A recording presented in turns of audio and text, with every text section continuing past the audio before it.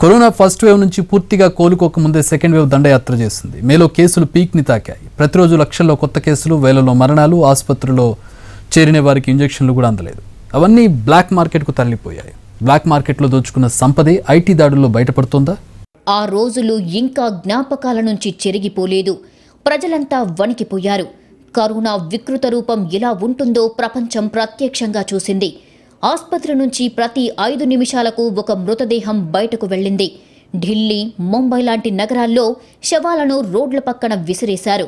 శ్మశానాల్లో గుట్టలు గుట్టలుగా మృతదేహాలను పోసి తగలబెట్టారు.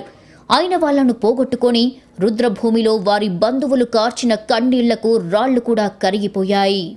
కరోనా సెకండ్ వేవ్ ప్రారంభమైన తర్వాత మే మొదటి వారంలో రోజుకు మూడున్నర లక్షలకు పైగా కేసులు నమోదయ్యాయి. ఆసుపత్రులన్నీ ఫుల్ అయ్యాయి ఆక్సిజన్ అందక రోగులు అల్లాడారు. యుద్ధ విమానాల్లో రైల్వే లైన్ల ద్వారా ఆక్సిజన్ తరలించాల్సి వచ్చింది.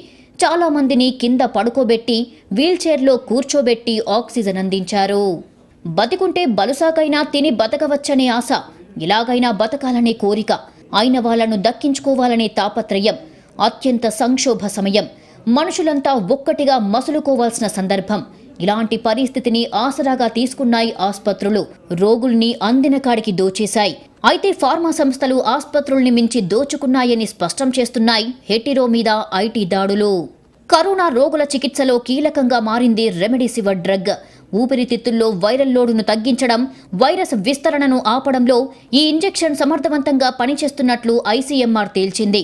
దీంతో కరోనా రోగులకు ఈ మందును వాడటం ప్రారంభించాయి ఆసుపత్రులు. రెమెడీసివర్కు గిరాకీ పెరగడంతో మార్కెట్లో ఉన్న మందులన్నీ ఒక్కసారిగా బ్లాక్ మార్కెట్లోకి వెళ్ళాయి మూడు వేల రూపాయలు చేసే ఒక్కో ఇంజెక్షన్ డెబ్బై వేల రూపాయలకు అమ్మారు. అంటే ఒక ఇంజెక్షన్ దాని వాస్తవ ధర కంటే ఇరవై రెట్లు ఎక్కువన్నమాట. ఇంతకంటే దోపిడీ ఏదైనా ఉంటుందా? రెమిడేసివర్కున్న డిమాండ్ను దృష్టిలో పెట్టుకొని కృత్రిమ కొరత సృష్టించారు. ప్రజలు ఈ ఇంజెక్షన్ కోసం అల్లాడుతున్న సమయంలో ఇష్టం వచ్చిన రేట్లకు బ్లాక్లు అమ్మేసి కోట్లను పోగు చేసుకున్నారు. హెటిరోపై ఐటీ దాడుల్లో బయటపడిన సొమ్మంతా ఇలా అక్రమ మార్గాల్లో సంపాదించిందేనా అనే సందేహాలు ఉన్నాయి. తెలుగు రాష్ట్రాలే కాదు దేశవ్యాప్తంగా ఇదే తంతు. ప్రాణాలను కాపాడే మందు కావడం డాక్టర్లు కూడా దీన్నే సూచించడం మార్కెట్లో దొరక్కపోవడంతో అక్రమార్కులకు అడ్డు లేకుండా పోయింది. మార్కెట్లో రెమెడీసివర్ దొరకడం లేదని కొంతమంది ఈ మందుల్ని బ్లాక్ మార్కెట్ చేస్తున్నారని గుర్తించిన ప్రభుత్వం రెమెడీసివర్ ఇంజెక్షన్ అమ్మడానికి అనేక ఆంక్షలు పెట్టింది.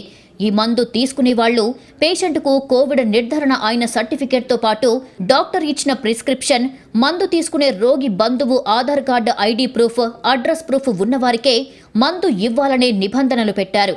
ఎన్ని నిబంధనలు పెట్టినా దోపిడీ ఎక్కడా ఆగలేదు. రెమెడీసివర్ ఇంజెక్షన్ల కోసం మంత్రుల రికమెండేషన్లు ఎమ్మెల్యేల సిఫార్సుల వంటి వాటి కోసం ప్రయత్నించిన వారు చాలామంది ఉన్నారు. ఈ ఇంజెక్షన్ వాడిన బాధితుల్లో కేవలం పది శాతం మందికి మాత్రమే అసలు రేటుకు ఇంజెక్షన్ దొరికింది. తొంభై శాతం రోగులు బ్లాక్ మార్కెట్లోనే కొనాల్సిన పరిస్థితులు ఏర్పడ్డాయి. ఒక వస్తువు దాని అసలు ధర కంటే ఇరవై రెట్లు అధికంగా పెంచి అమ్మడం వల్లనే ఇలా కోట్ల రూపాయల నోట్ల కట్టలు పోగుపడ్డాయి. కష్టకాలంలో ప్రజలకు అండగా ఉండాల్సిన ఫార్మా కంపెనీ ప్రజల్ని ఏ విధంగా దోచుకుందో చెప్పడానికి హెటిరో దుర్మార్గం చిన్న ఉదాహరణ. కరోనాకు వైద్యానికి ప్రభుత్వం రేట్లు నిర్ణయించింది. అవెక్కడా అమలు కాలేదు. దోపిడీని ప్రశ్నించిన వారు లేరు. ఒకవైపు ప్రాణాలు పోతుంటే మరోవైపు ప్రశ్నలకు సమాధానాలు వెతికే తీరిక ఎక్కడుంది? కోవిడ్ చికిత్స కోసం ఆస్తులు అమ్ముకున్న వారు వేల మంది ఉన్నారు. కుటుంబాల కడుపుగొట్టి దాచిన సంపదనంతా బీరువాలు లోకర్లలో భద్రపరిచారా? కోవిడ్ సెకండ్ వేవ్లో డెల్టా ప్లస్ వేరియంట్ విజృంభించింది. ఈ వేరియంట్ మొదట రోగి రోగ నిరోధక శక్తి మీద దాడి చేసి ఆ తర్వాత ఊపిరితిత్తుల్ని ధ్వంసం చేసింది. దీంతో చాలా మందికి తమకు వైరస్ సోకిందని తెలిసేటప్పటికే వారి లంగ్స్ దెబ్బతిన్నాయి.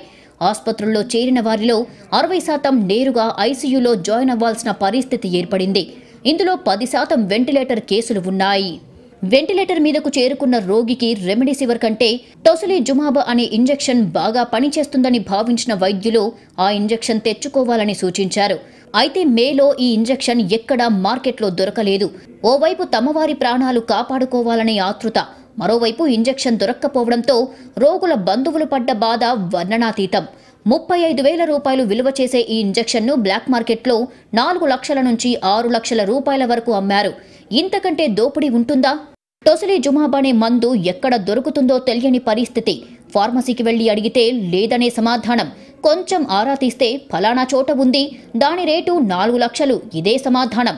ఎన్ని లక్షలైనా సరే ప్రాణాలు నిలబడతాయని ఆశ. చాలామంది ఈ ఇంజెక్షన్ కొనడం కోసం ఆస్తుల్ని కూడా అమ్మారు. సికింద్రాబాద్లో ఓ ఫార్మసీ షాప్లో ఈ మందు దొరుకుతుందనే ప్రచారం జరగడంతో అక్కడే ఎక్కువ లావాదేవీలు జరిగినట్లు సమాచారం. దేశమంతటా ఇదే పరిస్థితి. మార్కెట్లో విరివిగా ఉన్న మందుల్ని కూడా బ్లాక్ మార్కెట్కు తరలించడం కృత్రిమ కొరత సృష్టించడం వేల రూపాయలు విలువ చేసే ఇంజెక్షన్లను లక్షల రూపాయలకు అమ్మి కోట్ల రూపాయలు కొల్లగొట్టింది ఫార్మా మాఫియా. రెమెడీసివర్తో పాటు టొసిలిజుమాబ్ ఇంజెక్షన్లు తయారు చేసింది హెటిరో ఫార్మా.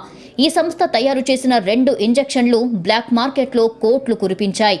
ఆ కోట్ల రూపాయలే ప్రస్తుతం బీరువాల్లో కనిపిస్తున్నాయా అనే డౌట్. ఐసీయూలో చేరిన కోవిడ్ రోగుల్లో చాలా మందికి వెంటిలేటర్ పెట్టాల్సిన పరిస్థితి ఏర్పడింది. వెంటిలేటర్ మీదకు వెళ్ళిన పేషెంట్లు బతికే అవకాశాలు రెండు శాతం కంటే తక్కువ. ఇలాంటి పరిస్థితుల్లో టొసిలిజుమాబ్ బాగా పనిచేస్తున్నట్లు వైద్యులు గుర్తించారు. దీంతో వెంటిలేటర్ మీదున్న పేషెంట్లకు ఆఖరి అవకాశంగా ఈ ఇంజెక్షన్ అందిస్తూ వచ్చారు. ఫస్ట్ వేవ్ సమయంలో అందరికీ అందుబాటులో ఉన్న ఈ మందులు సెకండ్ వేవ్ సమయంలో దొరకలేదు. ఆ ఇంజెక్షన్ వేస్తేనే రోగి బతికే అవకాశం ఉంది డాక్టర్లు చెప్పిన ఈ ఒక్క మాట పేషెంట్ల బంధువులను పరుగులు పెట్టించింది. ఎక్కడ దొరుకుతుందని తెలిసిన వారందరికీ ఫోన్లు చేశారు. ఫలానా చోట ఉందని తెలిస్తే చాలు ఎంత ఖర్చైనా సరే తీసుకోవాలని ఉన్నదంతా ఊడ్చి తీసుకెళ్ళారు. తాము సమయానికి వెళ్ళకపోతే అది ఎక్కడ అయిపోతుందోననే భయంతో పరుగులు తీశారు. బ్లాక్ మార్కెట్లోనూ మోసాలతో దెబ్బతిన్న వాళ్ళు చాలామంది ఉన్నారు. నకిలీ మందులు ఆన్లైన్లో అమౌంట్ ట్రాన్స్ఫర్ల మోసాలు లాంటివి చాలా జరిగాయి. భార్యను కోల్పోయిన భర్తలు తల్లిదండ్రుల్ని పోగొట్టుకున్న పిల్లలు కరోనా చికిత్స కోసం ఆస్తుల్ని తెగనమ్ముకుని రోడ్డున పడ్డ కుటుంబాలు. ఇలాంటివి చాలా చూశాం. కష్టకాలంలో ప్రజలు తమ ప్రాణాలు కాపాడుకునేందుకు అనేక త్యాగాలు చేస్తే దాన్ని కరెన్సీ నోట్ల కట్టలుగా మార్చుకున్నాయి ఫార్మా సంస్థలు. సామాజిక బాధ్యతతో ముడిపడిన వ్యాపారం చేస్తూ ఆ బాధ్యతల్ని గాలి కొదిలేసి చెంబల్లోయ దొంగల్లా ప్రజల్ని దోచుకున్నాయి. బీరువాల నిండా కుక్కిన ఈ సొమ్ముకు లెక్కలు ఉన్నాయా? ఇంత సొమ్ము ఎలా వచ్చింది? ఇదంతా వ్యాపారంలో లాభమా? ప్రజల కడుపు కొట్టి దోచుకున్న దొంగ సొమ్మ? ఒక్క రూపాయి వెనుక అంతులేని కష్టం కన్నీరు. ప్రజలు ఏళ్ళ తరబడి సంపాదించి కూడబెట్టుకున్న రూపాయల్ని గంటల్లో కాజేశాయి ఆసుపత్రులు ఫార్మా కంపెనీలు. తాము ప్రాణధార మందుల్ని తయారు చేస్తున్నామని అవి ప్రజల ప్రాణాల్ని నిలబెట్టేలా పనిచేయాల్సిన హెటిరో సంస్థ కష్టకాలంలో విలువల్ని వదిలేసిందా?